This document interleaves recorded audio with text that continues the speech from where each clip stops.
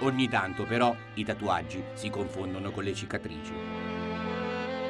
Ecco, questa è Via dei Georgofili, che prende il nome per questa famosa istituzione che c'è, l'Accademia dei Georgofili.